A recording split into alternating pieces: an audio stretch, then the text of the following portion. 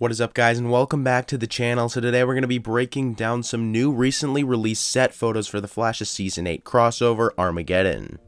Now guys, for these set photos, we got our first look at some returning characters. Uh, we also got a look at Reverse Flash. However, something very interesting is that Barry is inside the Reverse Flash suit. Now, why exactly is Barry inside the Reverse Flash suit? I don't know, but it does look like no matter who's going to be playing Reverse Flash, it looks like there is a new suit for Reverse Flash, which I think is just awesome.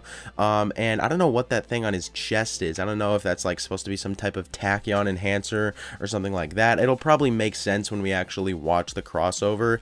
Um, you know, that's probably something they need for the crossover and whatnot. Um, we also get our first look at Damien Darhk, which is really cool to see. I'm really excited to see him return for the crossover. Um, but why why is Barry in the Reverse Flash suit? Now, my first theory about this is that you know we've obviously seen Thawne take over in somebody else's body. So could Thawne have actually taken over Barry's body? I think that would be a pretty interesting storyline. Um, however, I just really don't see that happening. So what exactly is going on here? This could be like another version of Barry somehow. Um, this could be like a, like a, a, a vision or a hallucination or something along the lines of that. Um, but this is very, very interesting nonetheless. And guys, we also did get our first look at Ryan Choi for the crossover, and he is in a Atom suit. Um, so I'm guessing Ray Palmer did pass the torch over to Ryan Choi, and I think this is awesome. Who knows, maybe even Ryan Choi became a metahuman or something like that who can shrink down. Um, I think, you know, that wouldn't necessarily be comic book accurate, but it would still be pretty cool to see. But yeah, guys, this new reverse flash suit here, it looks like an exact copy of Barry's suit, except yellow. I think that's basically what they were going for, and I really like that, honestly. Um, but I'm just so confused why Barry would be in the reverse flash suit. Um, I'm just trying to think of some other theories that could, you know, go along with this. Now, something that I think is pretty unlikely, but I think Eric, I could see Eric Wallace doing it, would be like a body swap type thing. Um, sort of like, you know, Elseworlds, where everyone thought uh, Oliver Queen was Barry, and everyone thought that Barry was Oliver Queen. Maybe it could be something like that. I don't know. I think that'd be pretty interesting.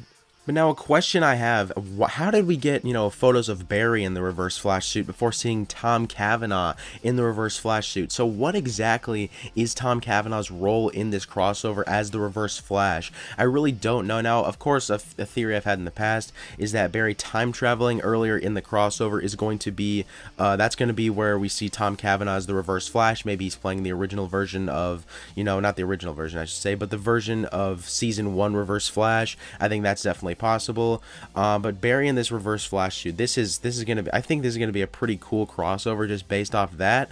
Um, you know, Damien Darhk returning. Maybe they're gonna form like a little Legion of Doom or something along the lines of that. I think that would be really cool to see.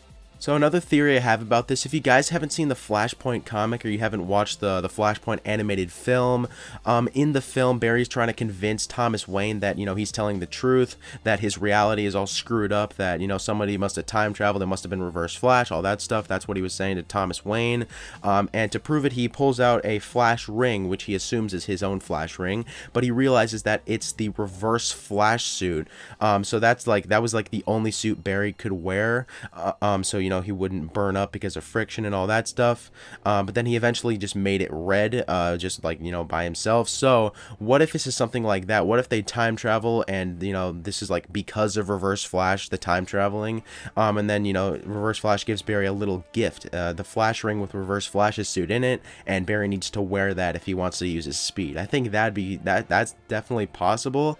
And yeah, I don't know where they are. I don't know if we've seen this place before. I don't know if they're just like in Star Labs or something like that. But I really don't recognize this place that Barry and Damien Darhk are at. Um, so it's going to be really interesting to see, you know, where this storyline goes in the crossover. But anyways, I'd say that's about it, guys. Thanks for watching. Make sure to comment your thoughts on this video down below, as well as your own theories about what could possibly be going on. Why is Barry in the, the reverse flash suit? Uh, what do you guys think about the new reverse flash suit? I think it looks pretty cool. Uh, comment your thoughts about, you know, Damien Darhk, Ryan Choi returning, all these new characters. And uh, yeah, I'll see you guys in the next video.